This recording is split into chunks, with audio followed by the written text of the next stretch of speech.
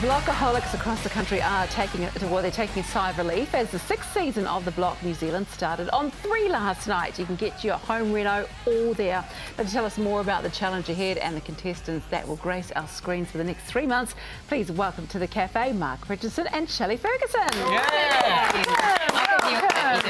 Nice. That was a good sprint from your AM studio to this one, Mark. Well done.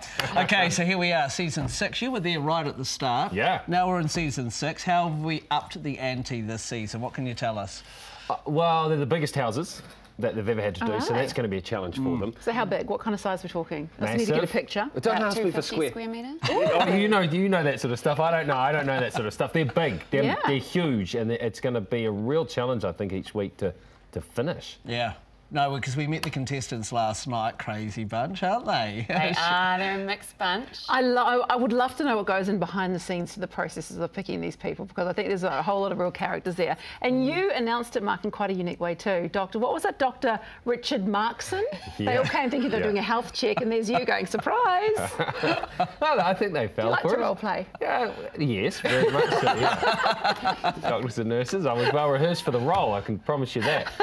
they, yeah, they, uh, because it's such a exhaustive selection process and we do make them jump through hoops. Because you want people who are, are capable, because you want them to finish the job, but you don't want them to find it too easy. Yeah. So you don't want them that capable. You want them entertaining, but you don't want them going in there and trying to act. You want them to be themselves. So, you know, casting is, is massive. So Yeah. it's an exhaustive process. So when they get told that they have to come for like a physical or something like that, they believe it. So they're, they're so easy to fool, you know? you are evil. Um, okay, so you know what I love about this show is it actually gives people hope that they can one day be homeowners, which is great. Good foot in the door. On that, how many people do you know Shelley applied? There were almost 5,000. Good grief. And I guess every season we've had, people have done well, people have walked away with money. Mm-hmm. And you know how hard it is currently to purchase a house, especially in Auckland. And also the Australian block, they see people walking away with a lot of A money. lot of money, So yeah. there's a good incentive there. Why not? Yeah, and there's just something about watching houses getting done up that's really compelling Mm. viewing too, isn't it? This season too is interesting because there's more about urbanism. So they're joined houses. They're very big, but they're joined. Right. All on one site. So it's three level living. There's a Wow. rooftop. There's communal shared spaces.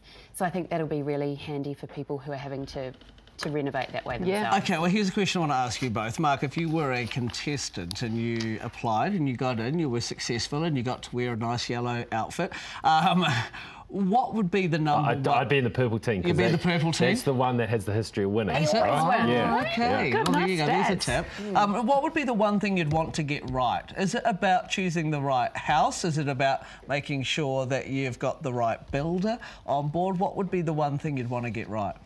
Yeah, I I think it's about getting the right builder, getting the right tradespeople behind you, because Right. you, you've got all the challenges and things you have to do along the mm. way. So it's not like you're in there doing all the DIY and can knock up the houses. So you have to be a very organised project manager. Right. Mm. So it's about making sure that you've got the right people working for you, and they're going to get right into the Yeah. spirit of the block as well. Mm. Okay, we'd be bad at that. Yeah. They also just found out they only get 100k to finish the whole house. So you've got to be winning some of those room Yeah. reveals, right? So if you're all strength building wise and no strength design wise, Yeah. those judges aren't going to let you win. Can't finish a house, a reno for 100k. I mean, is that possible? You can if you win challenges, clearly. I think you're fine if you come on the block, you'll be forced to. Yeah, you have no option. And now last night you did the first, you laid down the first challenges, which is going to, well, the first rooms, which is going to be kids' rooms for them all. Um, and they're all got different ages. Nate and Andy, they have kids themselves, don't they, brothers in law? Do you reckon that gives them a bit of a, bit of a sort of heads up on designing a kids' room? Oh, I think you would have seen from that first challenge uh, and what they've done so far, they're very, very capable, those two, when it comes to hands-on building. Yeah. Uh, so it'll be the design side of it. You know, things? There, there are a couple of blokes, there are a couple of husbands. Exactly. Can they actually do interior design? That'll be the test for them, I think, as they go along. No issues with that with the girls. I, I think there's some real strength there.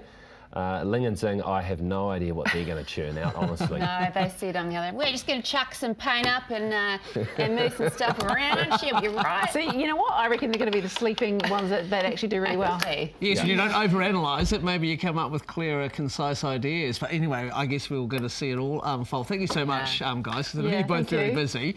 Um, look forward to this season. Awesome. I love it. You can watch the Block NZ every Sunday and Monday and Tuesday on 3, or you can catch catch up on ThreeNow.